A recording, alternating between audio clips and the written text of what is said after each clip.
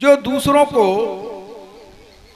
मूर्ख बना करके उनका शोषण करते हैं, उनको परेशान करते हैं, उनका जीवन सुखी हो ही नहीं सकता।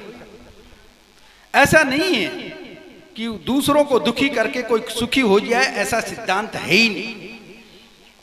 अगर दूसरों को दुखी किया है तो निश्चित रूप से अगर दिन में किसी आदमी ने कोई बुरा कर्म से बन गया है तो रात्रि में उसको चैन की नींद नहीं आएगी डल्लभ के गद्दों पर भी उसको करवट बदलते हुए जो है, चमक नींद आएगी।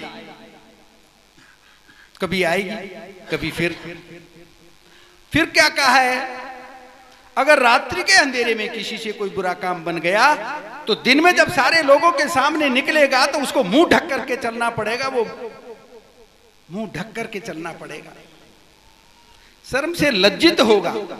कैसे मुँह दिखाएगा लोगों को? तो देखिएगा, यहाँ, और कोई ये समझे कि पाप को छिपा लेगा, कर्मों को छिपा लेगा, ऐसा हो ही नहीं सकता। पाप छिपाए ना छिपे छिपे तो मोटा भाग, और दाबी दूबी ना रहे जो रुई लपेटी आग। रुई में आग के अंगारे को कितनी देर तक भला जो है, हम लपेट करके रख सकते हैं अंततः। आखिर में तो वो प्रकट होगी ही आग। तो कोई छिपाने की कोशिश करे, पाप और पारा कभी पछता नहीं है। हंस हंस करके किया पाप, बाद में रो रो करके भुगतना पड़ता है। कई बार लोग कहते हैं, नहीं साहब, ऐसा नहीं है। भाई, बुरे काम के बुरे नतीजे किए नहीं तो कर देखो, और नहीं तो जिन्होंने किए हैं, उनके कर देखो। करके देख लो, आजमा के देख लो। देखे, खड़ूला मिलता है कि नहीं मिलता? खड़ूला। फाड़ होता है खड़ूल बकरी चराने वाले, गाय चराने वाले, हमने भी खड़ूला खाया है, लेकिन ऐसा खड़ूला नहीं खाया। देखिएगा, बेड्डा में भी होते मूलचंद जी कह रहे बेड्डे में होते, खड़ूला। तो देखिएगा, अरे खड़ूला खा लिया ने तो देखिएगा, बहुत सावधानी का जीवन है, ये सत्संग हमको सावधान करता है। गलत तरीके से आचरण करके और हम सही जीवन जी नहीं सकते।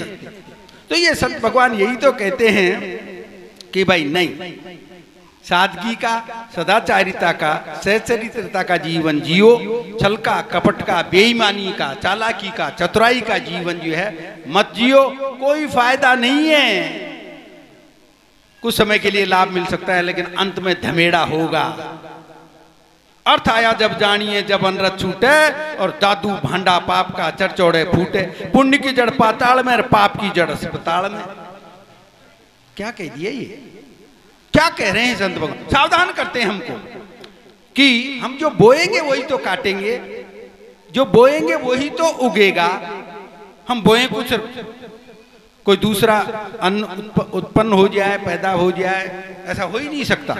कर्म में भी है, जैसा कर्म करेगा वैसा मिलेगा फल। अरे बावरे, आज नहीं तो कल। रज्जब करनी ना छिपे छिपे न हरि का दास। भक्ति करे पाताल में उदित होता काश भक्ति करे पाताल में उदित होता काश दाबी दुबी ना रहे जो कस्तूर की बात। बास। यहाँ नेकी और बदी के दो रास्ते हैं, गौर से सुन लो। तुम्हें किस मार्ग से चलना है, उस मार्ग को चुन लो। मार्ग पर चलने से पहले सोच लो, अंजाम क्या होगा? भलाई कर भला होगा और बुराई कर बुरा होगा। कर भला होगा, भला अंत भला है, और दुनिया में जीने की बस यही एक कला है, और कोई उपाय नहीं, और कोई तरीका ही नहीं है।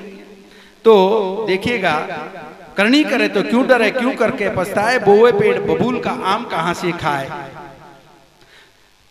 बहुत सारे बहुत सारे जो है ऐसे प्रमाण संत भगवान ने दिए हैं कि कोई धोखे में रह, मत रह जाना। अवश्य में भोक्तव्यम कृतम कर्म सुबह शुभम अच्छे और शुभ और अशुभ कर्मों का फल निश्चित रूप से ब्रह्मा के सौ कल बीत जाने के बावजूद भी भोगना ही पड़ता है। कोई बचा ही नहीं कोई बच ही नहीं सकता।